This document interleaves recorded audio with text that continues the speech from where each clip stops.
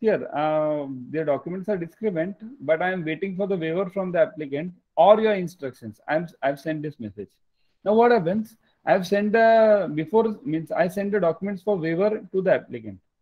And before receiving the waiver, I send it directly to the presenting bank. Send the docs back to the uh, presenting bank. Can the presenting bank or the beneficiary or the applicant hold me responsible that I had given the waiver. Before that you didn't receive the instructions from the presenting bank also. You didn't receive the instructions from me also. Then how did you send it? You can't challenge the issuing bank. You can't challenge. Issuing bank will say hell with you all guys. I felt it right. I did it. That's it. Okay? So Nobody can challenge the issuing bank on this case. Okay. Next. No, we shall own down. Yeah, yeah.